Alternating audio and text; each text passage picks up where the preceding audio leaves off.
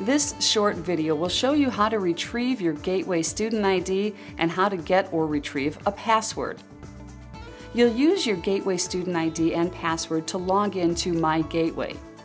From My Gateway, you can access your web advisor, student email, Blackboard, and other important information. Please note that if we do not have your social security number and birth date on file, you will not be able to retrieve your username online. Your username is your seven-digit Gateway student ID number. Sometimes within Gateway it may be called your username, user ID, or student ID number. You can find your Gateway student ID number on your admissions letter to Gateway or by going to gtc.edu slash webadvisor. Click on the What's My User ID link. You may need to scroll down to see it. Fill in the requested information in the format displayed, last name, and keep in mind you may have previously registered under a former last name, social security number including the dashes, your birth date using slashes and four digits for your birth year. Now click Submit. And there's your student ID number. Please write it down or take a picture of it until you memorize it. Click on OK to go back to Web Advisor. If your student ID doesn't pop up, try retyping your information and submitting again.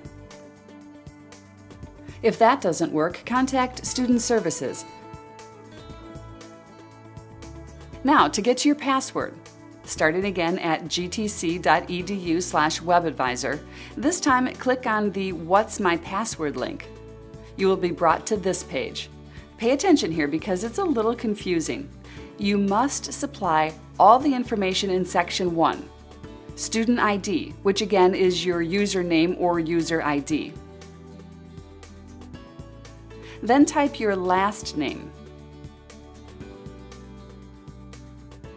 Birth date, again, making sure to use slashes and four digits for your birth year. Now you have to fill in one of the following sections, depending on how you want to receive your password. Choose one of the following. If you click in the box in section 2 and click Submit, we will send your password via US mail to the address we have on file for you.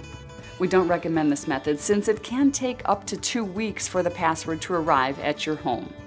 Or if you know the personal email address that Gateway has on file for you, simply fill in that address and click Submit.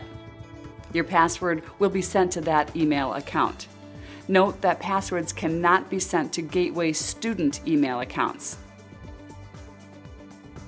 Or, if you know the security question and answer you previously supplied, fill those in and your password will immediately show up on the screen. If you haven't already set this up, you can't use this option. If none of these options work for you, contact Student Services at 1 800 247 7122. Now that you have your student ID number and password, you can use it to log into your My Gateway account.